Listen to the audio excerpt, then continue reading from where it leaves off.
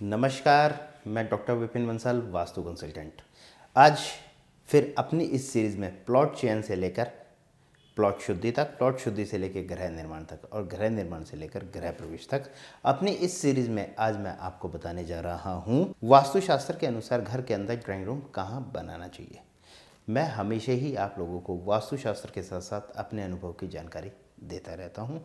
मेरे को वास्तु विज़िट करते हुए 24 साल हो गए हैं और जो मेरा अपना 24 सालों का अनुभव है, वो अनुभव मैं आपको अपनी वीडियो के माध्यम से देता रहता हूँ।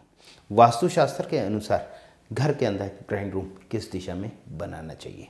ड्राइंग रूम का मतलब है कि गेस्ट का आना और वहाँ पर बैठना, चाय पानी पीना और चले जाना।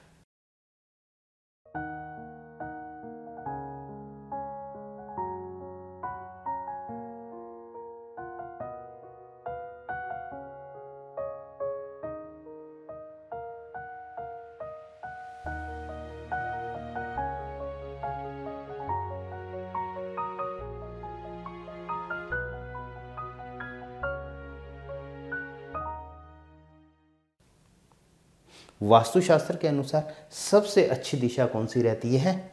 नॉर्थ वेस्ट जोन, यानी वायव्य कोण। वायव्य कोने को हवा का कोना भी कहा गया है, और यहाँ पर आप मेहमानों के लिए कमरा भी बना सकते हैं, यानी ड्राइंग रूम भी बना सकते हैं, और यहाँ पर आप अपना गेस्ट रूम भी बना सकते हैं।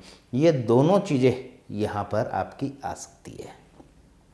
ड्राइंग रूम बनाना चाहिए तो ड्राइंग रूम भी बना सकते हैं, और गेस्ट रूम बनाना चाहिए तो गेस्ट रूम भी बना सकते हैं। कहाँ पर? नॉर्थ वेस्ट की दिशा में।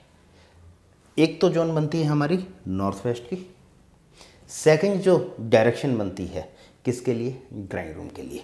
वो बनती है हमारी नॉर्थ की।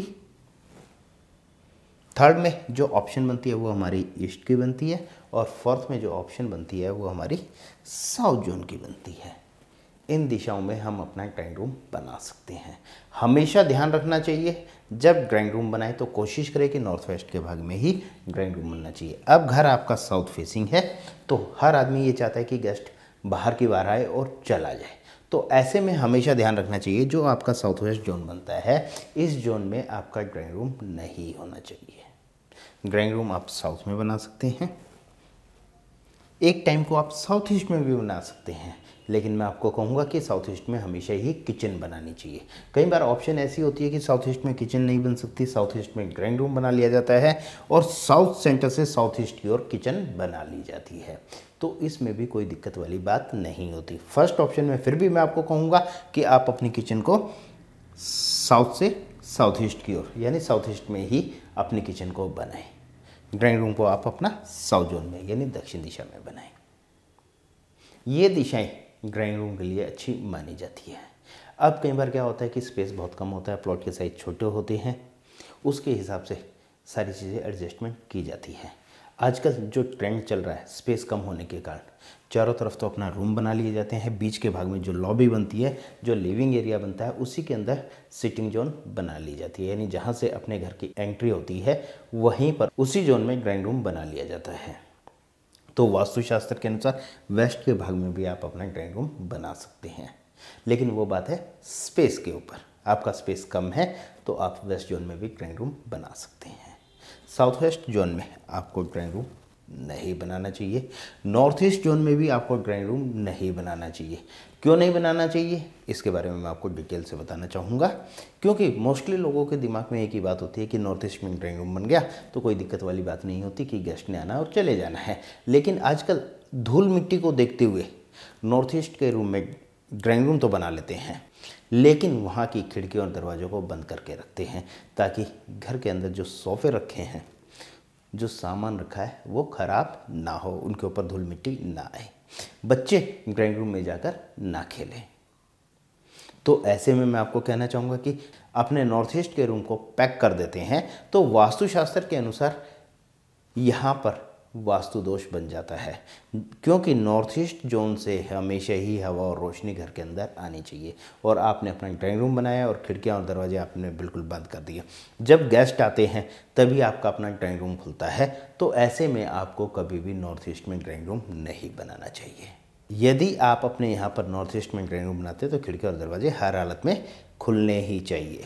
तो आज मैंने आपको अपनी इस वीडियो के माध्यम से ड्राइंग रूम के बारे में बताया कि वास्तुशास्त्र के अनुसार ड्राइंग रूम कहाँ कहाँ पर बनाया जा सकता है।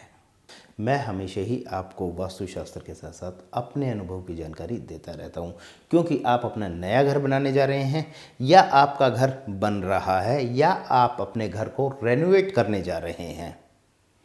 तो वास्तुशास्त्र के अनुसार आप अपने घर के अंदर रेनोवेशन भी कर सकते हैं, अपने घर को नया वास्तुशास्त्र के अनुरूप भी बना सकते हैं, क्योंकि घर सिर्फ़ ईंट पत्थर से नहीं बनता। वास्तुशास्त्र के अनुसार हर घर के अंदर पंच तत्वों को उनका अपना सही स्थान देना चाहिए। खाली ईंट पत्थर से घर को नहीं बनाना चाहिए, उसमें पंच तत्वों को उनका अपना सही स्थान ज़रूर देना चाहिए, ताकि घर के अंदर हमेशा ही खुशहाली आए। क्योंकि जड़ें मज़बूत होंगी, तभी पेड़ पर फल अच्छा आएगा। जड़ें कैसे मज़बूत होंगी? वास्तुशास्त्र के अनुसार पंच तत्वों को उनका अपना सही स्थान दिया जाए, तभी वो जड़ें उस घर की, उस घर की नींव मज़बूत होगी। उस घर के अंदर हमेशा ही खुशहाली आएगी, मान सम्मान मिलेगा, धन दौलत आएगी, परिवार में बढ़ोतरी होगी। आप अपनी किसी भी साइट के प्रति हमसे ऑनलाइन सलाह लेना चाहते हैं तो आप हमसे ऑनलाइन सलाह भी ले सकते हैं और आप अपनी किसी भी साइट का हमारे यहाँ से मैप बनवाना चाहते हैं तो वास्तुशास्त्र के अनुसार मैप भी बनवा सकते हैं। और आप अपनी किसी भी साइट के लिए हमें इनवाइट करना चाहते हैं तो आप हमें भी इनवाइट कर सकते हैं। मेरे द्वारा इस वीडियो में दी गई जानकारी आपको अच्छी लगी तो मेरी वीडियो को लाइक करें और मेरी इस वीडियो को अपने फैमिली और फ्रेंड्स में ज़्यादा से ज़्यादा शेयर करें। आपने मेरे चैनल को सब्सक्राइब नहीं किया तो मेरे चैनल को सब्सक्राइब कर लीजिएगा और साथ में बेल आइकन ज़रूर दबाएँ, ताकि मेरे आने वाली जितनी भी नई वीडियो है, उनकी नोटिफिकेशन आपको समय समय पर मिलती रहे। आप सभी अपना कीमती समय निकाल कर मेरी वीडियो देखते हैं, उसके लिए मैं आप सभी का तय दिल से धन्यवाद करता हूँ। इसी तरह अगले प्रोग्राम में फिर एक और नए विषय पर चर्चा करेंगे, तब तक के लिए नमस्कार।